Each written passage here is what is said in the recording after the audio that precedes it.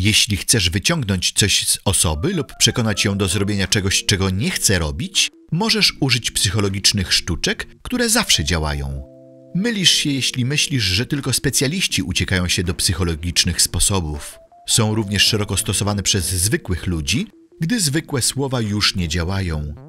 Obejrzyj ten film do końca i odkryj 10 niesamowitych psychologicznych sztuczek. Spróbuj ich użyć, a zdziwisz się, jak gotowy będzie rozmówca, aby spełnić Twoje pragnienia. Zwróć się do osoby po imieniu. To zbuduje w Tobie zaufanie, a dyskusja przyniesie owoce. Twoja komunikacja powinna być naturalna, a nie udawana. Uważaj, aby nie używać imienia osoby w każdym zdaniu. Nie przesadzaj z tą techniką, jeśli chcesz uzyskać pożądany rezultat. Daj drugiej osobie wybór.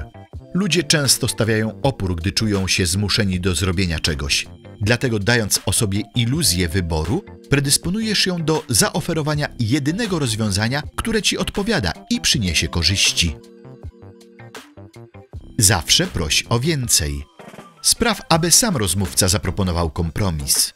Tak więc, nie zdając sobie z tego sprawy, osoba da ci to, czego naprawdę chcesz, ale nie powiedziała tego wprost. Na przykład, jeśli chcesz szczeniaka, możesz poprosić o kucyka. W ten sposób będziesz mieć pole do manewru i ustępstwa. Daj drugiej osobie mały prezent. Może to być mały i niezbyt drogi dodatek, na przykład osobisty pamiętnik lub długopis. Jeśli wybierzesz drogi prezent, osoba, z którą nawiązujesz dialog, może nawet pomyśleć, że próbujesz ją kupić.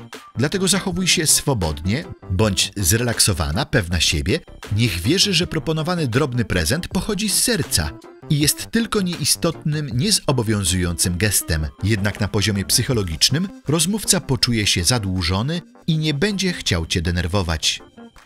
Zawsze zgadzaj się z drugą osobą. Jeśli w rozmowie pojawiają się sprzeczności i w ogóle się nie rozumiecie, musisz wyraźnie ustąpić, podkreślając, że ma rację. Możesz nawet pochwalić niektóre jego cechy, a gdy przyjdzie czas na omówienie głównego tematu dialogu, osoba przed tobą będzie już miała inny nastrój. W tej sytuacji łatwiej będzie się jej zgodzić i uzyskać pożądany rezultat. Używaj głosu biernego.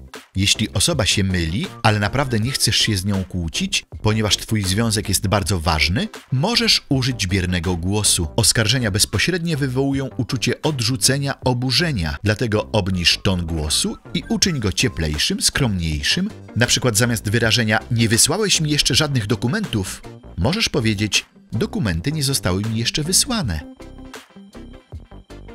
Strach przed stratą Strach przed stratą czasami sprawia, że zachowujesz się spontanicznie i żałujesz swojego wyboru. Na przykład, gdy ktoś słyszy, że są tylko dwa bilety w sprzedaży, od razu chcesz je kupić. Ta technika sprawdza się nie tylko w handlu, ale także w związkach. Mały wpływ na wzrost. Nabierz nawyku robienia ci małych przysług. Znacznie łatwiej będzie ci przekonać kogoś do zrobienia czegoś ważnego dla ciebie.